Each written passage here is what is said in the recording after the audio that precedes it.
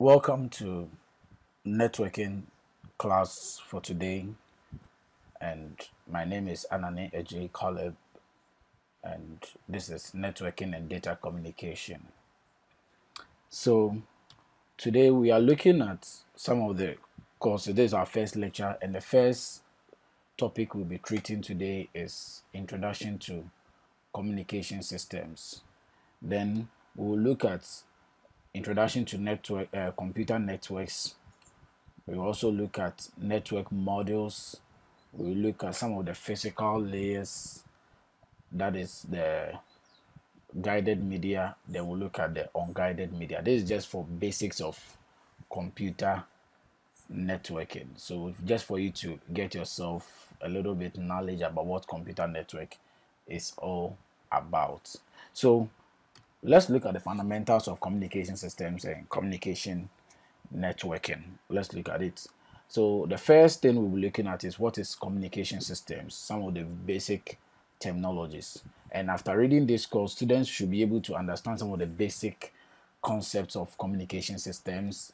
Students should be able to identify and describe the fundamental component of computer networks. Then they should be able to describe some of the benefits associated with the use of computer network. What is even the purpose for establishing a computer network? Then also we identify some of the networking devices and discuss their functions. We will look at some of the different types of what we call network topologies okay? We'll describe what are the network topologies and how they look like. So let's go straight to what is data communication. When we talk about data communication, we are referring to the movement of information from one point to another. So let me use human beings as an example. When me being an individual and you also being an individual, when I talk, something leaves me, that is a voice, leaves my mouth and it's carried to you and you can hear whatever message that I communicated either through voice or through a sign or a signal. But whatever way I'm able to pass a message from myself to you becomes a communication. So in terms of computers computers are also able to communicate or are able to send kind of signal to other computer systems or computer devices for them to also understand them. So, and this one is done through electrical or optical transmission systems. So, when we talk about data communication, we are referring to the movement of computer information from one point to another by the means of electrical or optical transmission. So, the communication is passed from one computer to another in a form of electrical currents okay? So you cannot actually see with your naked eye but there's actually something that happens between the two computers that are, uh, the, whilst they are trying to communicate together. And such systems are often that's what we refer to as data communication networks. And we are saying that the main reason behind joining or networking. The, the basic term of what i'm going to use networking is when we link two computers together when they are able to communicate among themselves. And what we are saying is that the reason why we do that is for these two computers to be able to share information among themselves. Now let me use this as a simple example.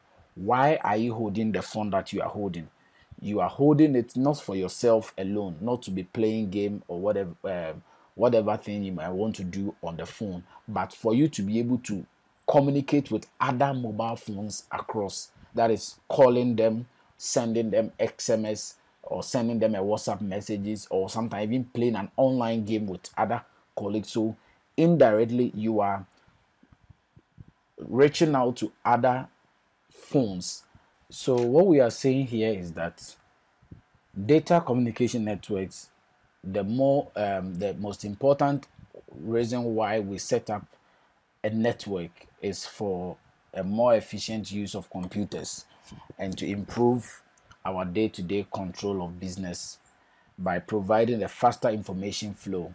So most of the time I want to use the banks or the bank let me use the bank for example.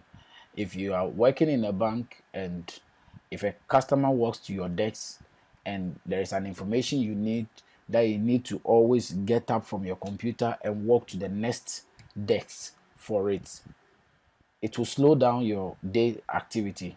But most of the time they are able to either make a simple phone call or they're able to send a simple email within a split of a, a, a, a time then there will be a response helping them to communicate among themselves and reaching out to each other and getting information in a very fast in a, in a faster manner.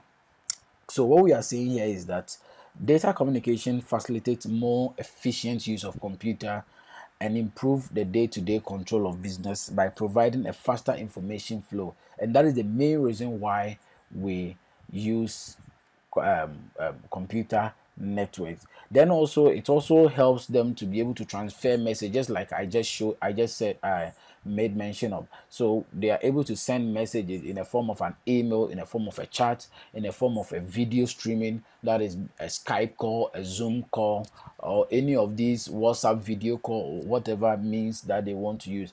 If that is what is that is what demands at that particular moment it makes it easier just within this period of this corona pandemic situation realize that people all over the world are finding ways and means of communicating among themselves. And most of the platform that they are using is this kind of zoom and skype uh, system to be able to communicate among themselves. So it makes it easier. People can stay anywhere across the globe and yet still able to communicate. So when we talk about um, some of the uh, terms that we, we want to look at. The next one is telecommunication.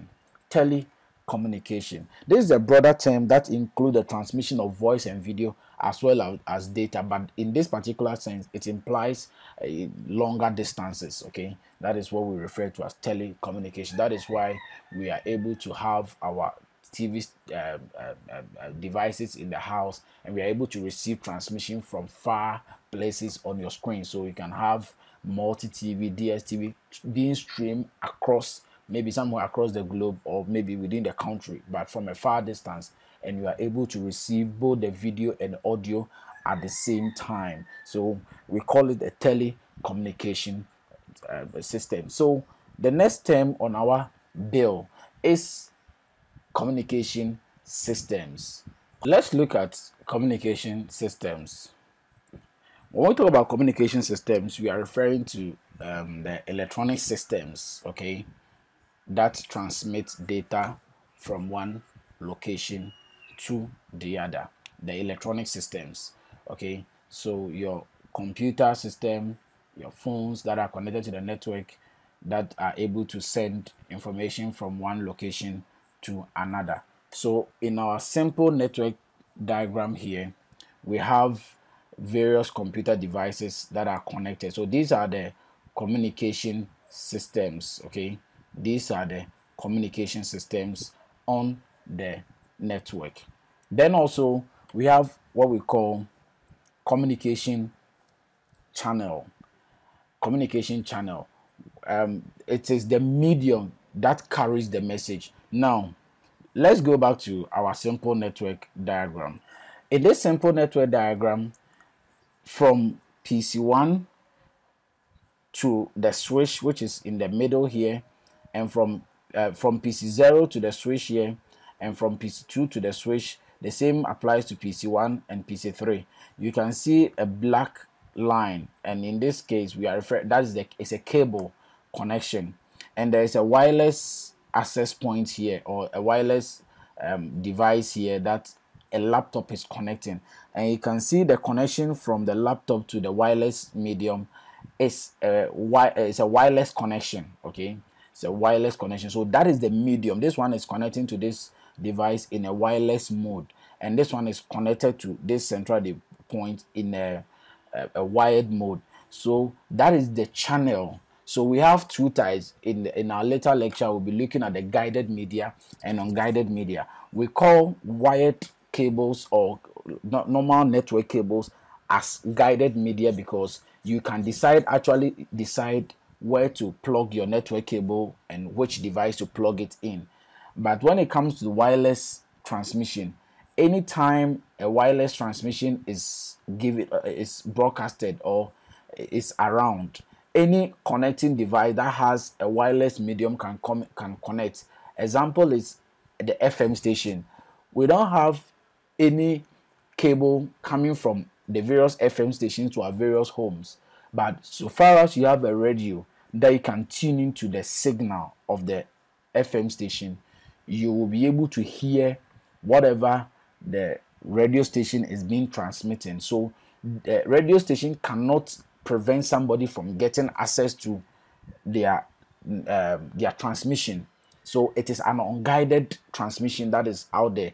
But ECG can decide not to bring a cable to your house because it is guided. They decide where they will take the cable, which will take time to look at it. So the, the, the various medium through which we commun- uh, we can send a message is what we call the communication channels.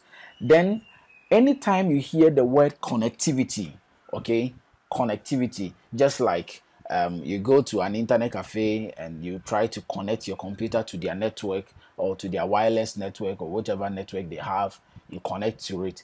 Or sometimes um, um, um, you connect your phone to a wireless network and say, Oh, um, I, I'm connected.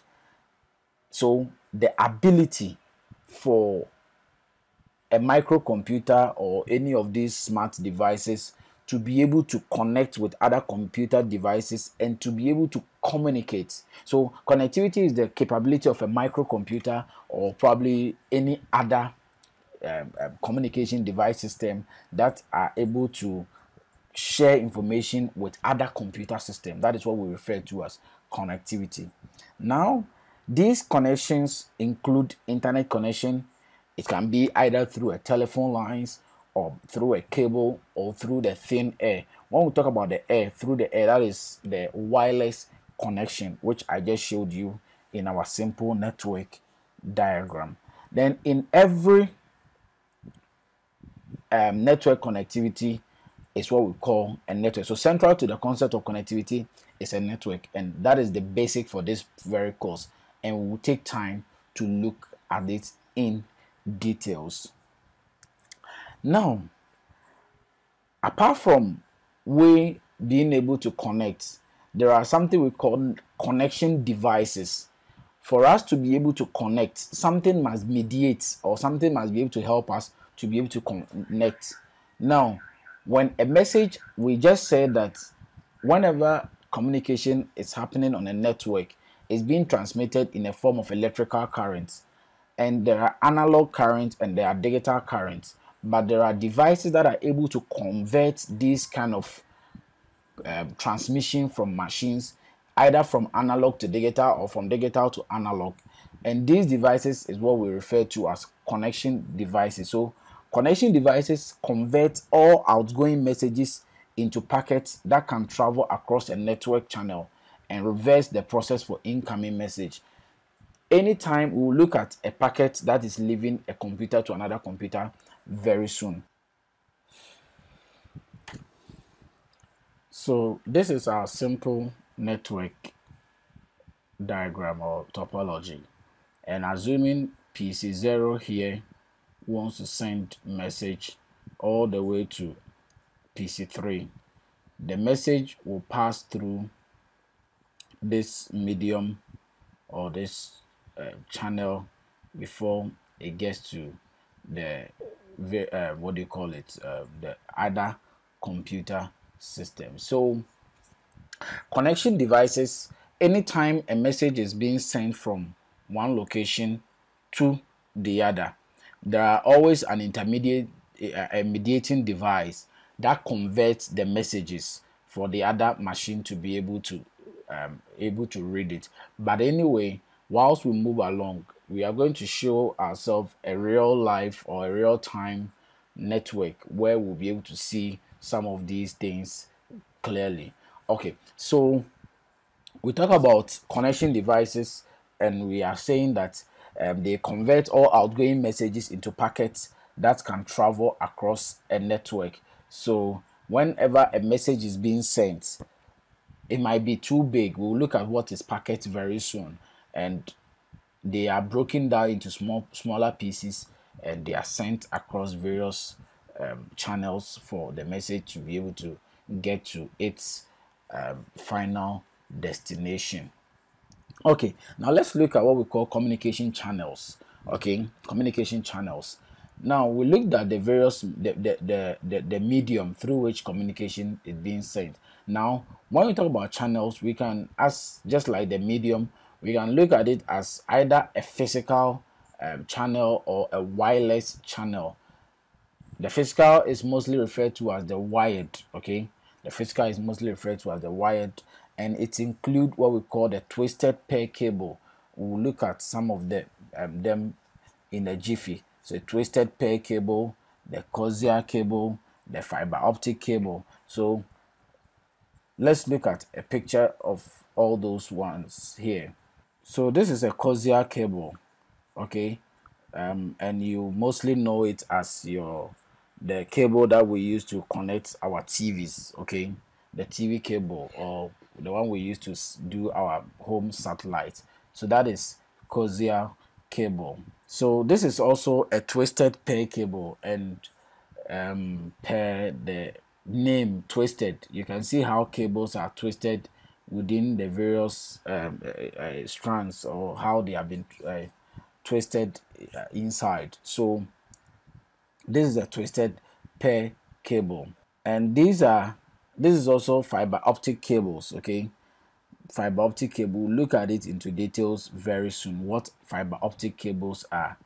So these are pictures of fiber optic cables that are being used and it transmits data in a form of electrical light in the form of a light. It doesn't use electrical signal. It uses it transmit data in the form of a light.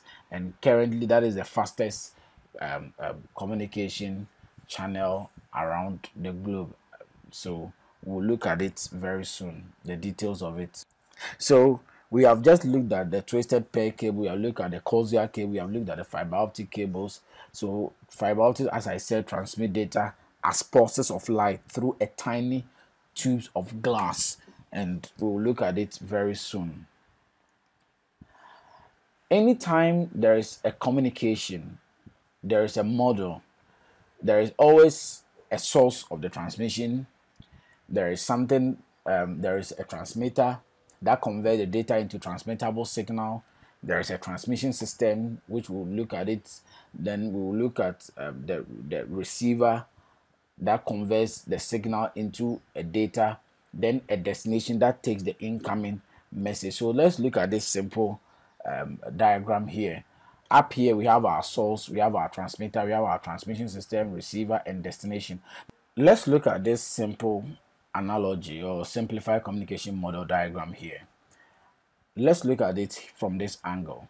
Now there is a workstation. Assuming you are in front of your computer and you want to browse something like facebook.com or google or any of these websites across the globe immediately you enter on your computer www.facebook.com you might be connected to a modem either a wireless modem or a wireless access point or you might be connected to a usb modem or any of these um, internet connection uh, connecting uh, uh, uh, devices which is giving you connection to the internet.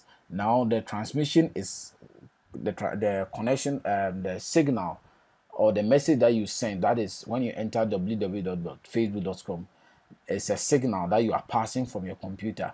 It's being converted by this modem here through the the modem converts it and it goes through out the international network that is all over the globe various uh, switches and hubs across the world then when the the message gets to the final destination which might be the server it might be the facebook server or google server or any of these servers across the world they are also connected to a particular kind of communication device or um, a modem or some kind of internet connectivity. And whilst your message that leaves your computer gets there the modem also transfer or convert it into a different um, um, um, um, signal, the ones that the server here will be able to understand. And if the server is replying, it goes through the same kind of um, um, communication before you now get a, a, reply back on your screen. So whenever you enter www.facebook.com and you are waiting for the page to appear on your screen, it goes through this type of um, um, uh, what do you call it? This type of model, or it goes through this kind of channels. It goes through different types of modem for conversion. It passes through the international network, that is the worldwide kind of network with different switches and hubs and routers all over the world and it gets to the final destination the final destination also receive the message and reply through the same channels but it happens in the speed of in the fastest way that is why you don't actually see it so the next thing we want to look at is what we call circuit switching. Circuit switching. We'll be looking at what we call circuit switching and packet switching. But the first one here is what we call the circuit switching. Circuit switching is a transmission technique in which a complete point-to-point -point circuit has to be assembled before communication can proceed a typical example is our telephone systems okay? Anytime uh, normal telephone lines i'm not talking about the mobile phone era i'm talking about the telephone lines. Whenever somebody is calling another telephone line the various uh, telecommunication companies what they do is that they have to establish a link. They have to establish a link from the one who is calling and the one who is receiving the call. So whenever they have an available link, that is when the call can go through. And as soon as the link is established, nobody can interfere in that link unless they have or they have hung up the call. That is why previously when we were using the normal telephone lines, when you are on a call, nobody can call you through. The, nobody can call again unless you are finished with your call because they were using something we call a lease line. Now let's look at um, a, typical example, as I said, is a telephone system. In a circuit switching, computer network use leased dedicated telephone circuit to communicate with other computers in remote location that is location that are not closer or probably somewhere far away from itself so these dedicated circuit techniques were very expensive and wasted a lot of communication capacity that's why i said if somebody gets on the line, nobody can get back on it again unless those two people have finished their communication. So the circuit was maintained regardless of whether any data were being sent or not. So this led to what we call packet switching. So let's look at a, a simple simulation on how the circuit switching is done. This is what a typical traditional telephone networks look like. The PSTN networks are connected through central offices, which act as telephone exchanges, each serving a certain geographical area. When a person A calls a person B, for example, the telephone network is trying different circuits to find an available channel. A connection must be established before they start their conversations. Once the channel is decided, it guarantees the full bandwidth and remains connected for the duration of the communication session until users terminate their connection. When you are making PSTN call or traditional telephone call, you are actually renting the lines. That's why international telephone call or long distance telephone call was expensive. Okay, so that is just a simple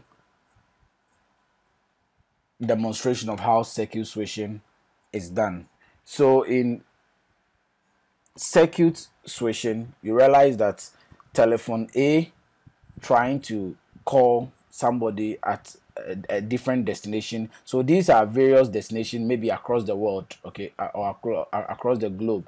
So when A wants to call B, the telephone companies will need to make sure there is an available line or available what we call circuit. So they establish a line. It can be either through this one here, through the top here, through this here, through here, through this here, and to B. So any which any line that is available for communication. So they have to establish it before those two people will be able to communicate among themselves. And it was it's very expensive to maintain that, and that is what brought about what we call packet switching. Now let's look at packet switching. In unlike circuit switching, which we just looked at, packet switching is also another technique to disseminate information. But in this sense, instead of the message being sent acro- uh, uh, through one particular circuit or through one particular line or channel, the packet switching is so intelligent that the files that are being sent or the file that is being sent is sliced into smaller pieces so that it can be transmitted across different channels. And when the file reaches its final destination it is being reassembled to form the file again. So packet switching is a transmission technique in which digital messages are sliced into parcel or smaller pieces that we refer to it as packets. And it is sent along different communication paths as they become available. These packets are then reassembled once they all arrive at their final destination. And there are different um, packet sizes depending on the communication standard being used. So based on the uh, particular communication standard that you are using or the channel that you are using will determine the size of the packet that will be sent across. So if you are using a twisted pair cable, if you're on a twisted pair cable network, it's because of the speed, it can decide to um, slice it into a particular sizes. Then if you're using a fiber, which is quite faster than the twisted pair cable, it also has its own sizes that it will slice the file into so the packets these uh, the packets include information for directing the packet to the right address for checking transmission errors and among uh, uh, uh along with the data so whilst the files are being sliced though it's being sent across different um, it's sent across different channels to its final destination yet all the files that have been sliced have been tagged with a destination address. So irrespective of whichever route the packet uses, it will still end up going to its final destination. And it's a very good um, um, um, system, or it's a very good thing because it helps in security, which we'll be looking at it uh, in the in our subsequent lectures. So let's see a simple um, simulation with regards to this particular uh, packet switching? Packet switching uses different methods. Packet switching networks are connected through many routers, each is serving different segment of networks. Data is broken into packets before it is transported. In packet switching, packets can travel any path on the network to their destination because each packet contains an IP address and sequencing information. Therefore, they don't need to follow each other. They can travel any network path and they can find the fastest channel available at any instant. They don't need to arrive in sequence because they can reassemble together at the destination. The Internet is based on a packet switching protocol, TCP/IP.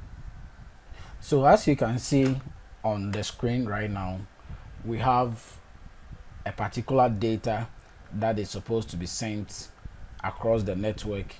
And whilst we were preparing to send a particular data is to be sent from destination A to destination B and it is broken into smaller pieces like in one two three four different pieces and they are sent. And it doesn't necessarily have to pass through the, the same um, routes or follow the same order. So it goes in different routes and different directions and it are uh, uh, its final destination is the computer b here. So it will come in pieces and when it arrives it doesn't have to arrive in in sequential order. It comes in any way and when it gets to the final destination it reassembles the file again. And the file now becomes the complete data that we were sending across so that is how the packet switching is done. So with this simple um, um, um, diagram here just like I showed you in the simulation the this is the actual data, um, data that needs to be sent and is broken down into smaller pieces. So each of the pieces uses its own route to or its own circuit to get to its final and this is the final destination the final destination is over here. So it's broken down into pieces packet 1 packet 2 packet 3 and when it finally gets to its final destination you realize that packet 2 seems to be getting to its destination earlier than all the other packets. But yet when it gets to the final destination it's being reassembled into its original format or original form as you can see from the left side of the diagram. So that is how packet switching is okay now let's take a little um, let's go a little bit deeper into the packet switching and circuit switching and understand some few things here. We are saying that in packet switching packet switching make um, a much more efficient use of communication capacity. This is because we don't allow unlike um, circuit switching where a single line is dedicated to only two people to use at a time. But this one all lines are available for everyone and packets can travel in any um, available lines that are available. So it makes more efficient use of communication capacity um, of a network. Just like maybe we have the Accra Kumasi road whereby if somebody wants to travel he has to get to his, his destination before any other person is allowed to use the road which is quite bad. So with this everybody is allowed to use the road as far as the, the road is available for people to travel. So data are gathered from many users and divided into smaller packets and transmitted over available communication channels using the various routers. And we are saying that each packet travels independently through these networks just like i showed you in the simulation that it doesn't need to uh, actually follow a sequential order. They travel through each different um, um, um, um, um independently through this uh, travel uh, independently and when it gets the final destination it's being reassembled again. Packets of data originating at one source can be routed through many different paths and the networks before being reassembled into its original message. And when they reach their destination, we it, we it reassembles it as I have already indicated. And we are also saying that packet switching doesn't require a dedicated circuit, unlike the packet switching where an end-to-end kind of connection needs to be established before a communication will be uh, will, will, happen. So packet switching does not require a dedicated circuit but can make use of any spare capacity that is available. So if some lines are disabled or too busy, the packet can still be sent over by uh, to any uh, its destination point without any interaction. So without any interruption.